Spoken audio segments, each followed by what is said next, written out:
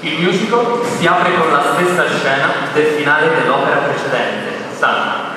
Siamo nella stanzetta dove padre Sanna vive i suoi ultimi giorni e dove in solitudine conversa con il suo angelo custode, che gli fa intuire come l'istituto da lui fiondato fiorirà nel tempo. Ma questo momento di contemplazione viene bruscamente interrotto dall'entrata in scena della maestra delle novizie, che bussa alla porta, entra nella stanzetta e si lamenta con padre Sanna per il comportamento di una delle novizie, Amania.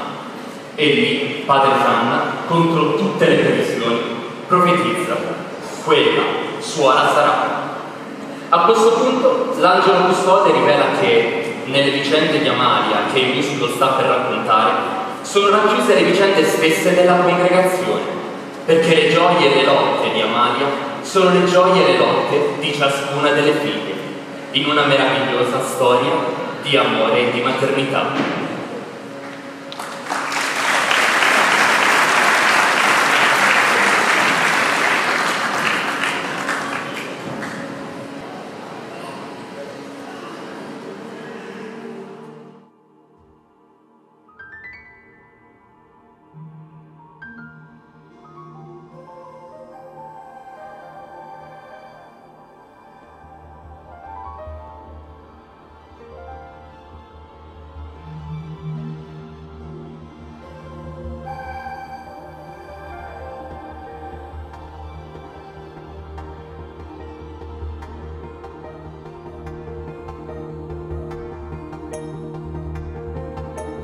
E il tramonto lo so, angelo custode, raccontami che cosa sarà delle figlie del cuore mio, delle anime amanti e fervide che ho raccolto in lui.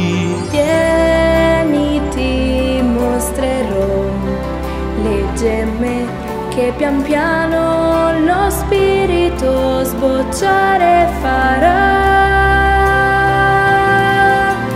Meraviglie impensabili,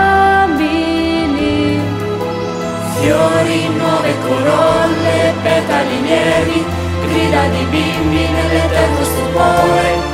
La primavera, ali di luce, libertà che nessuno potrà mai contenere, no, perché lo spirito che fa la storia col suo alito che alleggia sulla